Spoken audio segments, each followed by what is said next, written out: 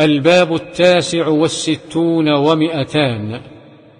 باب النهي عن التباغض والتقاطع والتدابر. وعن أنس رضي الله عنه أن النبي صلى الله عليه وسلم قال لا تباغضوا ولا تحاسدوا ولا تدابروا ولا تقاطعوا وكونوا عباد الله إخوانا. ولا يحل لمسلم أن يهجر أخاه فوق ثلاث. متفق عليه.